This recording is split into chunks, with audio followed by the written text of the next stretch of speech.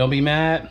Don't be mad, my peoples. but this your boy, SI. Um, I got a little bad news. Well, it could be big bad news for some people in their lives, but yeah. Um, the hatch is down though. Down, down, down. So one night, me and my girl, I say, mm, this happened about like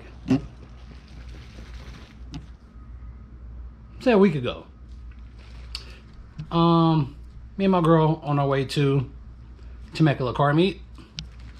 I got the hatch, you know. It get praised wherever it go. but um, we out going to Temecula car meet. I jump on the freeway, right? and as soon as I jump on the freeway, like I felt my car like you know a car vibrates when it have an exhaust, but like I felt the like I should have followed my I should have I should have followed my first mind, but I felt my car like the vibration of the of the engine like just I mean when I say slightly change like the feeling like when you know your car you know your car. The feeling slightly just changed a, a, tad bit and I should have just turned around and went back home and took her car or not even went at all but I was like you know whatever continue to push right got to the car meet checked it out. You know, it's a whole bunch of ricer bullshit going on. You know, the typical shit. Um, revving, revving, revving for no apparent reason. Uh, bicycle, I mean bicycle, a motorcycle, a cross rocket right next to us just. I'm like, I see why I stopped going to meets. Meets like this. But the shit was corny as fuck. You know, some of the people that seen my hatch, you know, praised it you know, this car get praised everywhere we go because it's just so fucking fresh. But um, left there, right? So left there, and my girl was like, you know, let's go get something to eat. So I'm like, all right, then cool. Left there, and I say from that area, like not even five minutes, my boys, not even five minutes. The car just starts stuttering and then shut off. Well, I, I shut it off like immediately. But when it was happening though, in a, in a in a process, as this going on, I looked at my oil gauge, and I'm like, oil pressure fine, like completely fine. So I jump out the car, I start pushing. I look in back of me, there's a dude in a white 350Z helping me push. But while he's helping me push, he's compliment me on my car at the same time. oh man, your car is so nice. I'm like, bro, just thank you. I mean, I, am just appreciating you helping me push this motherfucker in. So we get we get pushed into the gas station. I'm like, damn, you know, what could it be? So me and my girl chilling. I pop the hood, start looking at stuff, right? So she like just started up, you know, just to see. Started back up, and immediately, immediately, I start hearing ding, ding, ding, ding, ding, ding, ding, ding. I'm like, oh shit. But as I, as the engine is moving, I'm like, this is this is coming from the top of the engine, not the bottom. So, cut it off. I should have never cut it back on. But to hear that the damage was already done. You know, if it's already you if you're already hearing some clinging in, I mean, if you're already hearing some clinging in your engine, the damage is already done. So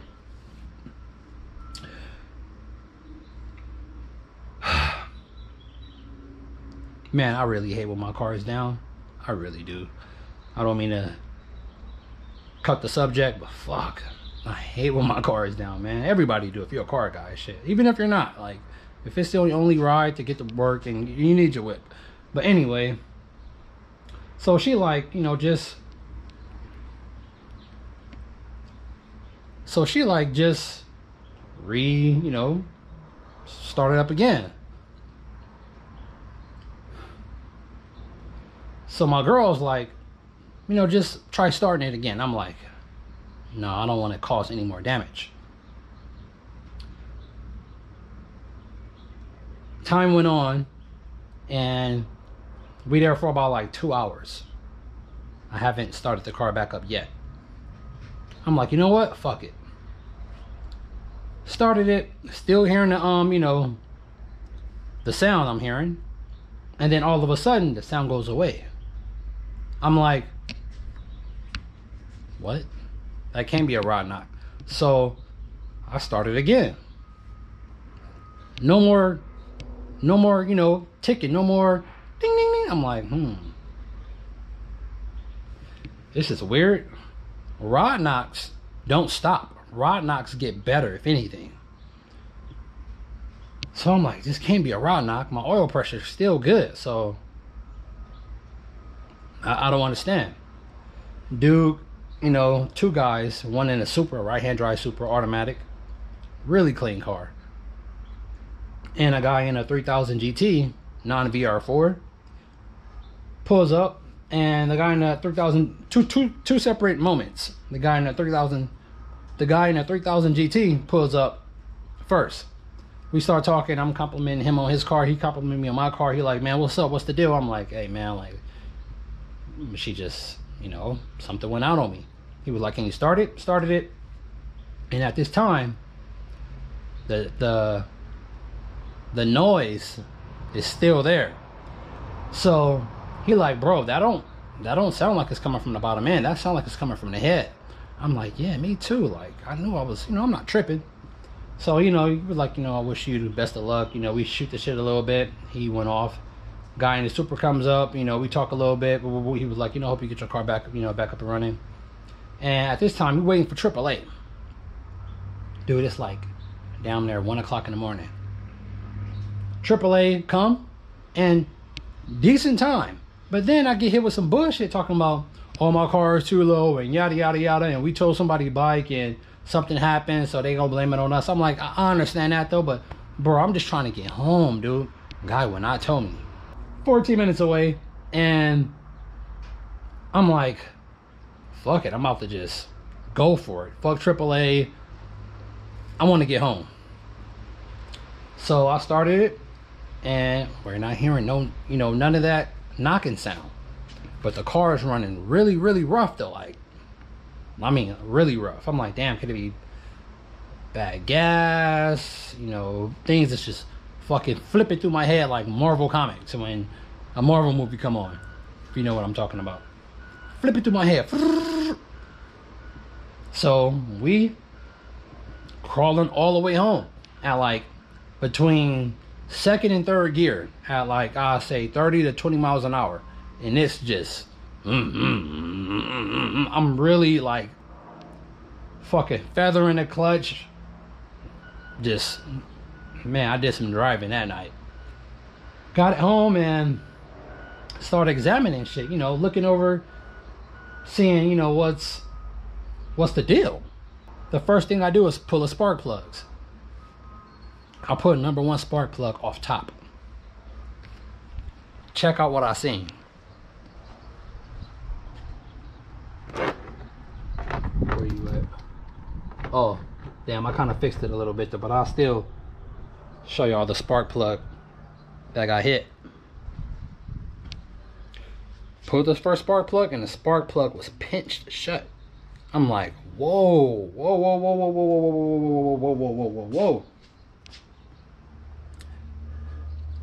Heads don't drop. Blocks don't move. So it's either I did spin a rod bearing and it just stopped for whatever apparent reason, or something with the piston, something moved and tapped the spark plug and caused that to happen. So I'm like, damn, like,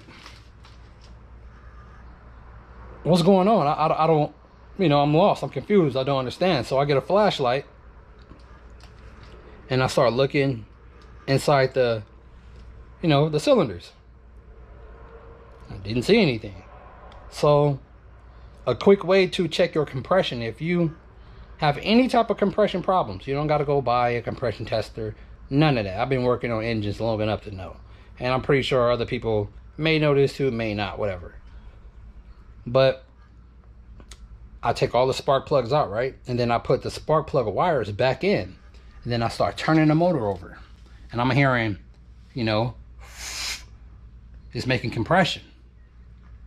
All the cylinders make compression besides number one.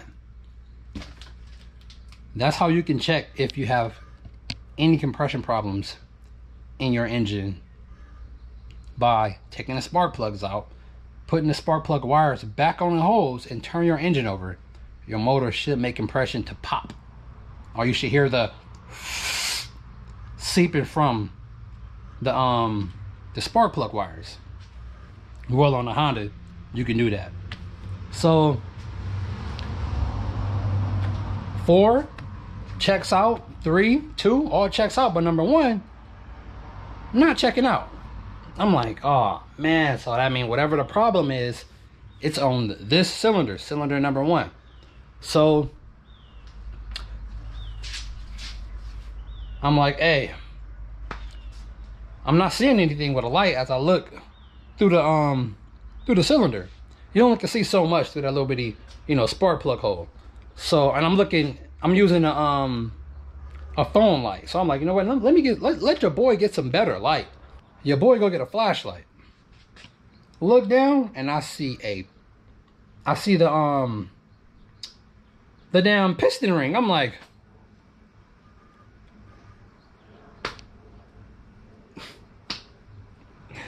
Damn. Johnny, damn. So me, mad scientist I am, I start ripping shit apart, you know. I already checked the bottom end, took the oil pan off, already checked the bottom end. I'm like, you know, hey, only thing I could do now is rip the head off. I ripped the head off, and guess what your boys see? Check this shit out.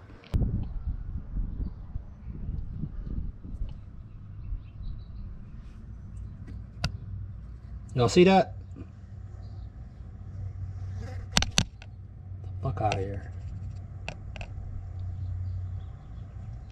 Broke off, got compressed, smashed, or tapped the spark plug, and then went out the exhaust valve. Did it get out the exhaust valve smooth? No. It hit one of my exhaust valves and bent it a little bit. Already did the test, yes, bent. It didn't go out smoothly, which I was praying that you know I was praying that it did, but I'm glad that my head wasn't just rattled under, looking like a BB gun under the um you know the cylinder. I don't have no scars in my cylinders, and, and, when this happened at all, it's fine. So that failure. So what can cause that failure? It could be bad piston ring gap, fail injector or yeah, out of those two. Bell injector or bad, you know, bad gap on the rings. This car have not, since it been tuned, have never went into VTEC with it because my VSS or V or VVS in the transmission was never hooked up. So that caused my check engine light to come on. So I never hit V in this car. Only when it was getting tuned. So I never hit V, never raced it, haven't raced this car yet.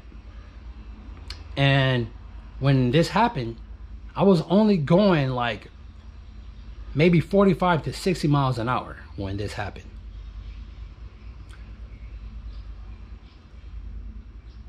I haven't put the pistons out yet. I am.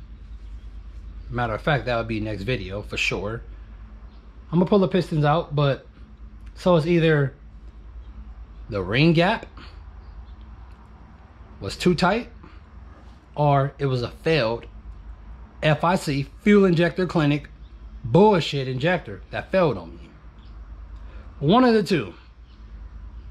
I've been leaning more towards the failed injector. You know, other people that's brand loyal act like, oh, it just can't, you know, FIC just can't fail. Like, motherfucker, all parts fail. It's man made. The best parts fail. So I don't want to hear none of that bullshit.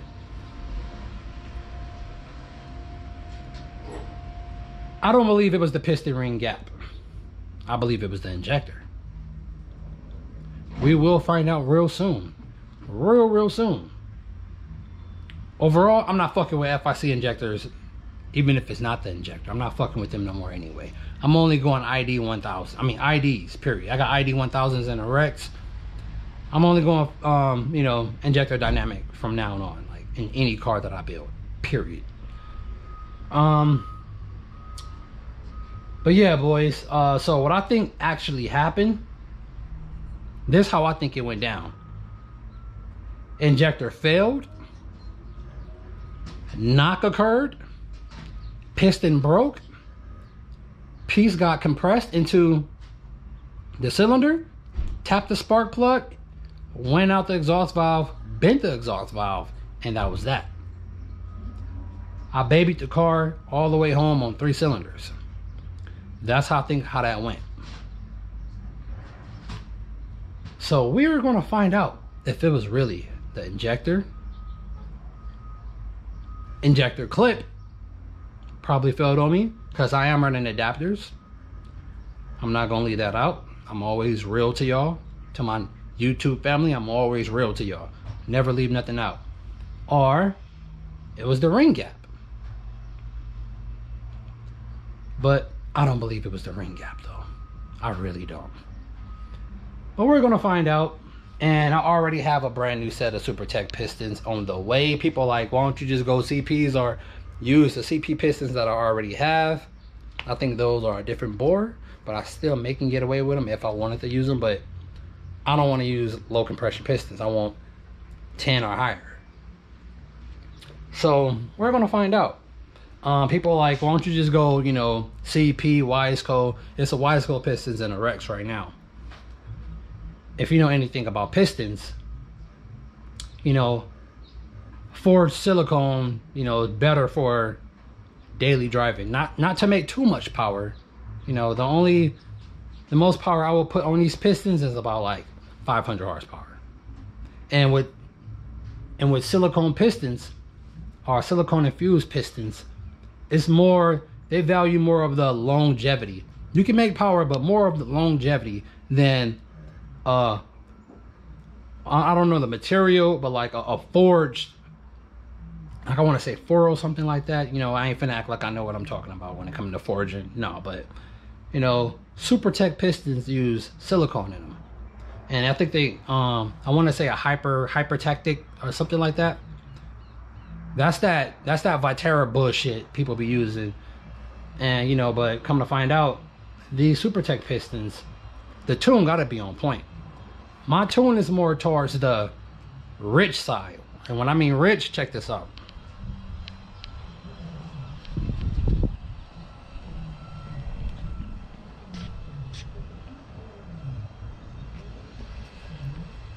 Yeah, my tune is more towards, you know, priority on the rich side. My boy David from Import Auto Pros, I believe in my boy tunes. My car always ran well with his tunes, and it was not the tune, so we can rule that out. I'm sorry, I'm so, so sorry I didn't have my GoPro with me because that could have been footage. And I, I know I told y'all that I'm gonna be having my GoPro with me wherever I go with my hatch or whatever I do with my car. So I apologize for that. And when we get this bad boy back up and running, I will make sure I have my GoPro, my camera with me wherever I go. So forgive me for not having it. And yeah, Rate, comment, sub. This your boy, SI Ricko, and we'll be back up and running real soon. So don't worry. You know, it's my baby. And I know, I don't even want to bring up the Rex. I know y'all been wanting to see that, but hey, that's my, that's my personal right there. So, you know, whenever that get filmed, that get filmed. But this my other baby, this my daily, so this get more of the attention. But yeah, man, hatch is down. I ain't tripping though. We'll be right back up and running real soon. It's your boy, SI Ricko. Rate, comment, scissors up. And I'll catch y'all on our next one, though. I'm out. Love y'all. Peace.